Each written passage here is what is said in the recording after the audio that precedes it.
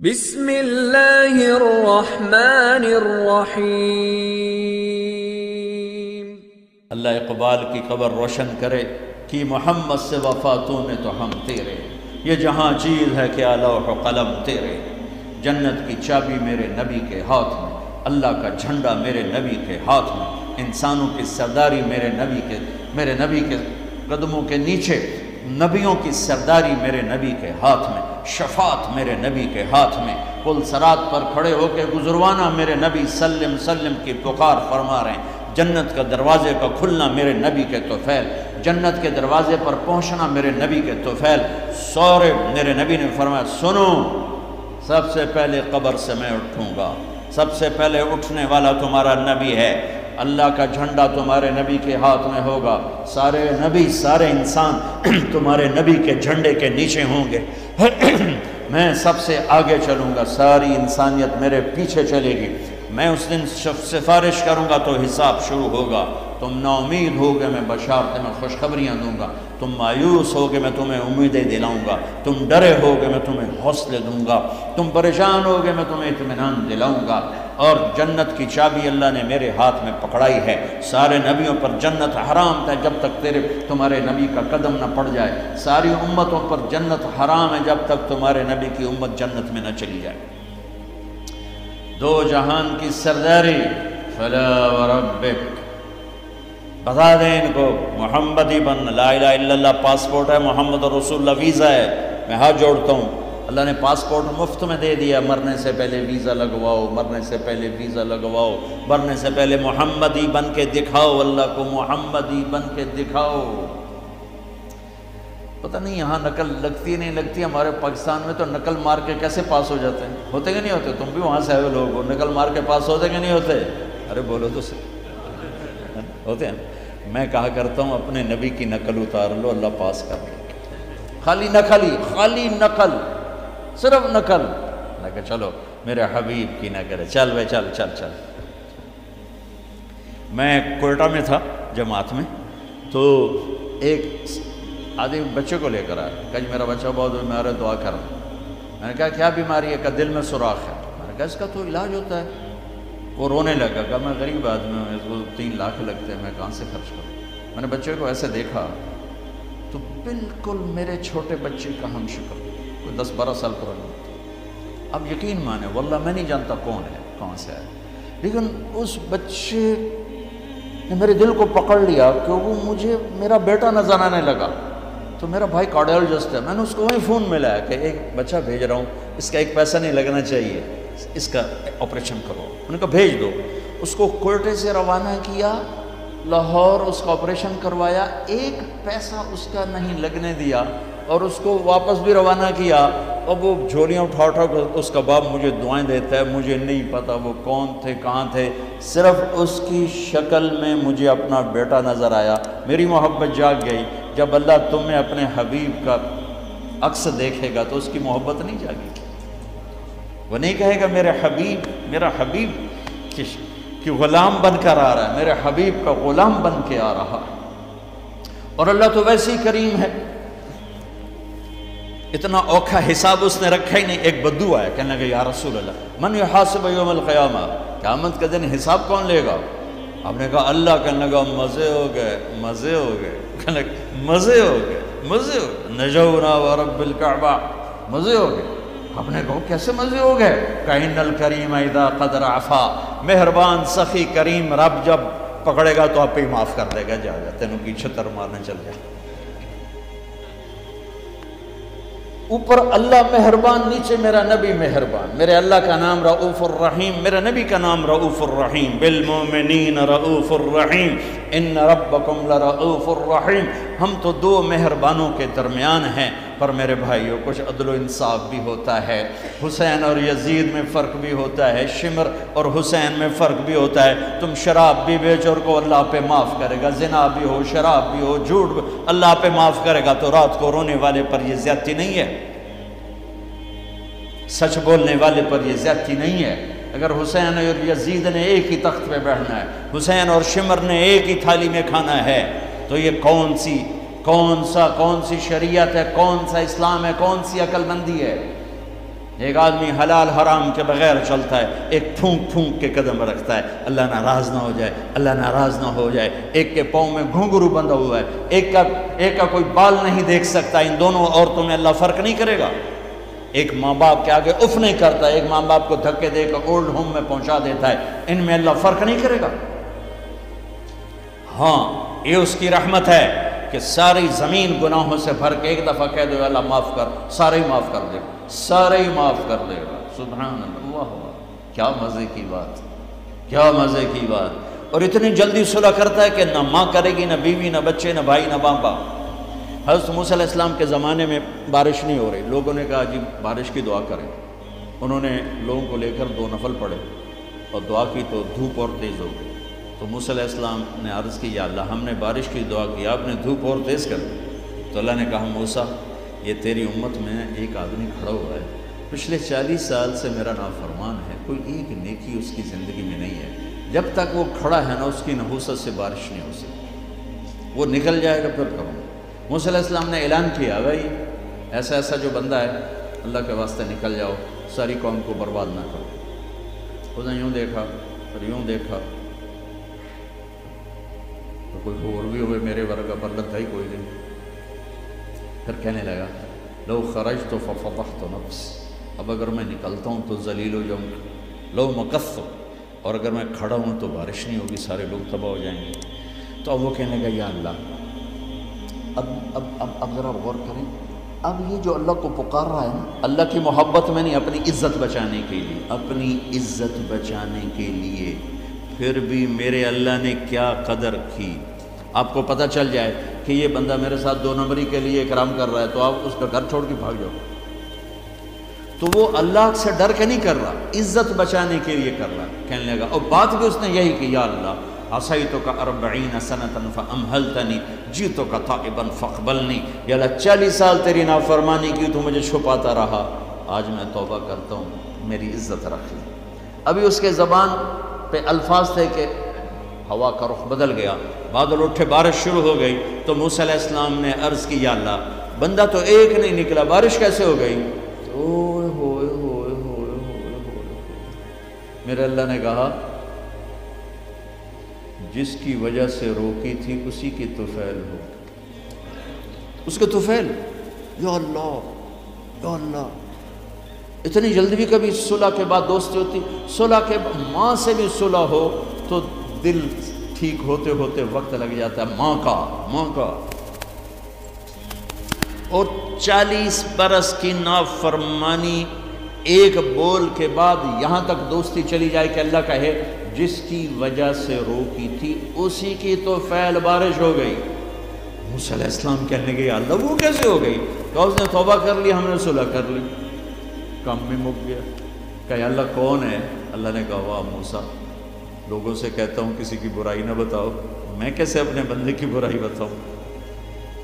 जब उसने बुराई की हुई थी तो मैंने किसी को पता नहीं बताया। आज उसने सुलह कर ली तो मैं कैसे बताऊँ? मेरे भाई बहनों, दुनिया, ये हमारी दूसरी बुनियाद है। हमें जहाँ रहो, मोहम्मदी बन के रहो, मोहम्मदी बन के रहो। दोनों मेहरबानों से वास्ता है। दोनों हस्तियाँ अजीम हैं, करीम हैं, मेहरबान हैं। सर मेरे नबी, सबसे महबूब बीवी हज़रत आयशा। आप उनके घर में आए, आपने कहा हज़रत अम्मा आयशा, या रसोल, मेरे लिए दुआ तो करें।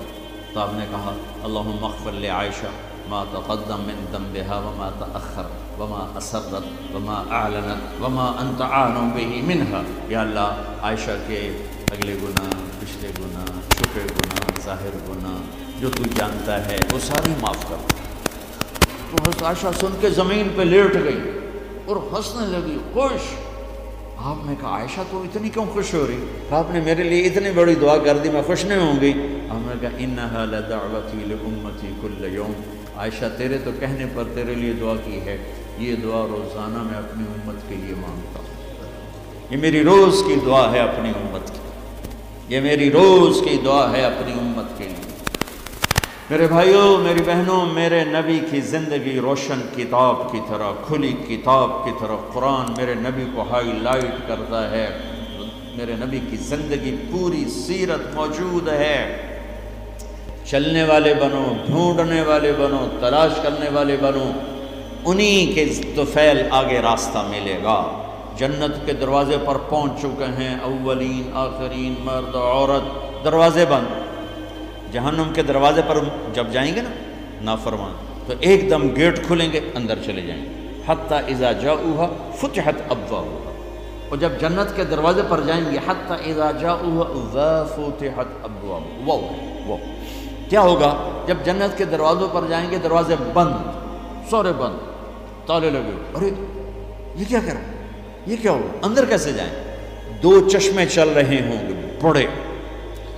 एक से पानी पिएँगे सीने का गुस्सा, नफरत, हसद ख़त्म, पेट का पेशाब पखाना ख़त्म। इस पानी के चंद कतरों के बाद ना कभी पेशाब पखाना बनेगा, ना अंदर में हसद, नफरत, गुस्सा। दूसरे से वज़ू करेंगे। तो चेहरे ऐसे तरोताज़ा कि हमेशा के लिए चेहरे पर ना बुढ़ापे के आसार, न बीमारी के आसार। हर आदमी अपनी एक कद में 130 फुट, जन्नत के दरवाजे पर अम्मा और अब्बा का कद होगा 130 फुट। चूँकि जन्नत की लड़की भी 130 फुट है, जन्नत के खादिम भी 130 फुट हैं। मैं का मजाकन का करता हूँ, पाँच फुट का जन्नती जन्नत में चला जाए तो बेगम तो जेब में डाल लेगी। जन्नत की हूर हस्बैंड को जेब में डाल कर ढूंढती फिरेगी, सज्जे पासे पाया कि खब्बे पासे पाया? नहीं। तो अल्लाह आदम इस्लाम की हाइट पे लाएगा हमें, उस हाइट पे लाएगा। 130 फुट की हाइट पर सारे। दाढ़ी गायब हो जाए, दाढ़ी नहीं होगी। ये दुनिया में है, वहाँ कोई नहीं। और हुसन यूसुफ अलैहिस्सलाम का, कद आदम का, उमर ईसा अलैहिस्सलाम दिल अयूब अलैहिस्सलाम ज़बान के मिठास दाऊद अलैहिस्सलाम और अखलाक जनाब अलैहि वसल्लम वाले, पेशाब से पाक, पखाने से पाक, थूक से पाक, मौत से पाक, नींद से पाक, थकन से पाक, बुढ़ापे से पाक, दर्द से पाक, दवा से पाक, हॉस्पिटल नहीं पूरी जन्नत में, टॉयलेट नहीं पूरी जन्नत में, वॉशिंग मशीन कोई नहीं, किचन कोई नहीं, औरतों की मौज हो गई किचन ही कोई नहीं। पक्के पकाए या तो तुम्हें भी पकाना पड़ता है।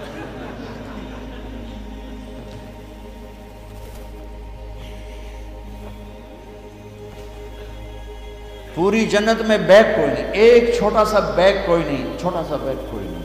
पूरी जन्नत में। सुबहान अल्लाह और कपड़े कैसे पहने होंगे? सौ जोड़े पहने होंगे। हर मर्द औरत ने सौ जोड़े। और तुम सर्दियों में यहाँ जब बड़े बड़े कोट पहनते हो, कितना चलना मुश्किल हो जाता है। तो सौ जोड़े का तस्वर करो तो लगेगा जब मैं उत्ते त्राय मन की बोरी आ गई। हम्म। नहीं। जन्नत के जोड़े का वज़न नहीं है, चाहे सौ हो, चाहे हज़ार हो, उसको लाने बेवजन पैदा वज़न खींच लेगा उनमें से। और और जो जन्नत की, ये ईमान वाली औरतें जो बैठी हैं, ये जन्नत की लड़की से सत्तर हज़ार गुना ज़्यादा खूबसूरत होंगी। जन्नत की लड़की जन्नत की लड़की बनी है मुश्क अंबर ज़ाफ़रान काफूर से। हम बने आग, पानी, मिट्टी, हवा से। वो बनी है मुश्क अंबर ज़ाफ़रान काफूर से। उसके चेहरे पर रब ने अपना नूर डाला है अपना नूर डाला है। वो समंदर में थूक डाले, समंदर मीठे हो जाए। सूरज को उंगली दिखाए, सूरज नज़र ना आए। दुपट्टा हवा में लहरा दे, ज़मीन से लेकर आसमान तक खुशबू फैल जाए। आसमान पर बैठकर उंगली नीचे कर दे, सारी कायनात में रोशनी फैल जाए। जो मुस्कुराती है तो दांतों से जो नूर निकलता है, सारी जन्नत में ऐसे रोशनियाँ रोशनियाँ रोशनियाँ हो जाती हैं। पता चलता है कि जन्नत की लड़की मुस्कुराई है, उसके दांतों से निकले हुए नूर ने सारी जन्नत को रोशन किया है। ईमान वाली औरत इस औरत से सत्तर हज़ार गुना ज़्यादा खूबसूरत है।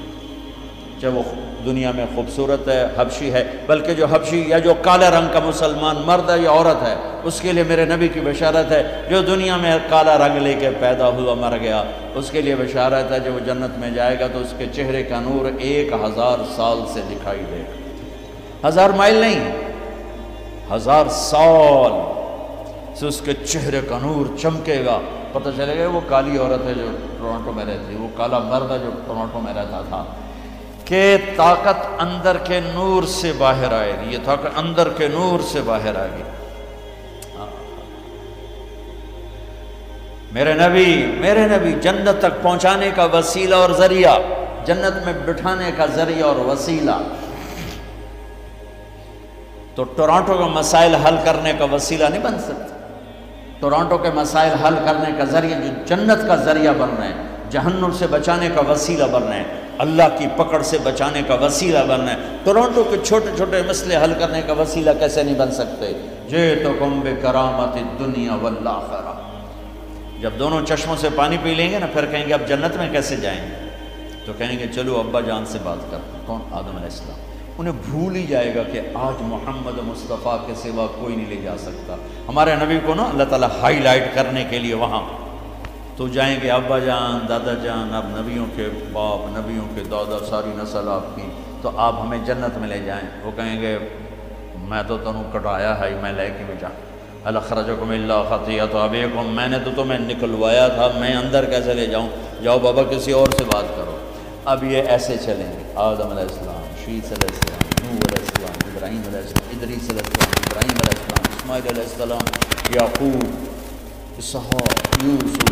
सारे नबी और सब इनकार इनकार इनकार इनकार इनकार। सबसे आखिर में आएँगे ईसा ईसा राज से पर्दा उठा कर कहेंगे, देखो, तुम खा मखा थक रहे हो।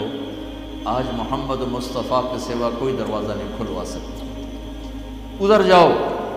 इसमें सिर्फ़ उम्मत नहीं होगी, बाकी भी होंगे। अब सब आएँगे हमारे नबी के पास। या रसूल अल्लाह या नबी अल्लाह इस बाब। दरवाज़ा तो खुलवाएँ हमारे लिए तो आप कहेंगे, अना लहू, मैं ही खुलवाऊँगा। तो आपने फरमाया, मैं सजदे में सर रखूँगा। मेरा अल्लाह मेरी, मेरे ऊपर अपनी तस्वीर और तारीफ़ का इल्हाम करे। मैं अल्लाह की वो तारीफ़ करूँगा करूँगा जो पहले कभी ना की होगी। तो फिर मेरा अल्लाह कहेगा, या हबीबी, या मोहम्मद, मेरे महबूब, मेरे मोहम्मद, इरफा रासक, सल तोहता इशफा तो शफ़ा सर उठाइए, सवाल कीजिए, मांगिए, मिलेगा, शफात किए, कबूल है। तो कहेंगे, या अल्लाह, जन्नत का दरवाज़ा। तो आप कहेंगे, अल्लाह कहेंगे, आप आप बिस्मिल्लाह करें, आप इफ्तः करें। अल्लाह, मैं तो तैयार हूँ। तो एक सवारी आएगी जन्नत से उड़ती हुई। वो आकर लैंड करेगी हेलीकॉप्टर की तरह मेरा नबी उसके ऊपर ऐसे बैठेंगे उसकी जो रस्सी है ना, वो नीचे गिर जाएगी। ऐसे गिर जाएगी। रस्सी गिरने का मतलब है कि इस सवारी की ड्राइविंग मेरे नबी खुद नहीं करेंगे। कोई कोई आएगा ड्राइवर आएगा जो रस्सी लेकर चलेगा ये इतना बड़ा, इतनी बड़ी इज़्ज़त है कि अल्लाह के नबी की सवारी का ड्राइवर बने, कोई कुशवान बने। लिहाजा सब नज़रें ऊपर उठाएँगे ऐसे ऐसे सब देख रहे हैं। ख्याल घूम रहे हैं लोगों के। अली को बुलाएँगे, हसन को बुलाएँगे, हुसैन को बुलाएँगे और बकर को बुलाएँगे, उमर को बुलाएँगे, उस्मान को बुलाएँगे। आवाज़ आएगी, बिलाल को बुलाया जाए। बिलाल, हबशी हबशी। आल भी पीछे रह गई और अरब भी पीछे रह गए। बिलाल बिलाल आएँगे। कहा, बिलाल मेरी सवारी की लगाम पकड़ेगा और मेरे आगे आगे चलेगा आप दरवाजे पर पहुँच के दस्तक देंगे। अंदर से आवाज़ आएगी, कौन? आप कहेंगे मोहम्मद रसूलुल्लाह। वो कहेंगे, या रसूलुल्लाह, मैं हूँ जन्नत का जीएम आज का, आज की ज़ुबान में जीएम मैं हूँ जन्नत का जीएम जनरल मैनेजर है।